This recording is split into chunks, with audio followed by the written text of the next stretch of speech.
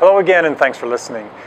Stewardship is one of our values here at Munson and while we often think about stewardship in financial terms, Munson is also concerned about being good stewards of our environment. And I'm here today with Scott Labonte. Scott is one of our project engineers in our construction team, and Sarah U'Ren, who is uh, the program director for the Watershed Center.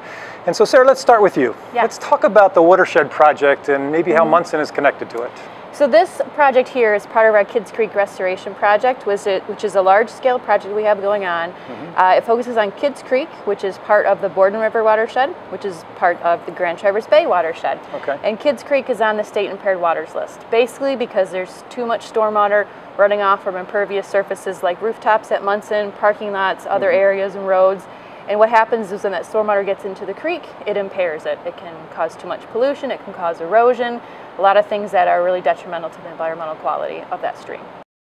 So Scott, we're here on this new green roof on A2. Why don't you tell us about it and some of the other projects that Munson's a part of? Uh, yeah, this is a, a roof that we um, got funding for from the watershed.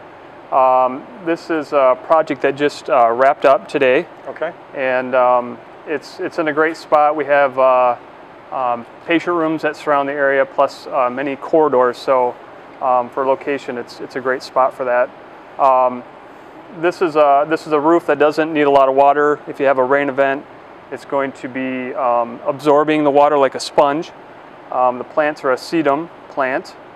And um, you know, right now the water uh, goes to a, uh, a roof drain that um, you know, typically the water would just go down the drain and not be mm -hmm. captured. So this way we're capturing that water before yeah. it gets out to the, the Yeah, this was grant funded, I understand? It is grant funded, yes. Okay. Yep.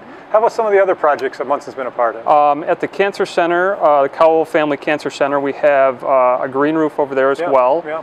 Um, we have a rain garden and we also have some underground uh, storage. I know that green roof at the Cancer Center has been a great sort of place for our patients to look out on and actually get outside. Yep. Um, and we're also, we've also done some work over at 1150 Medical Campus, that's next to the parking structure.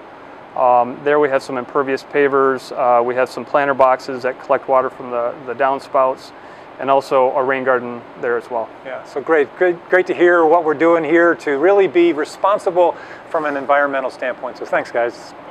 Thank you.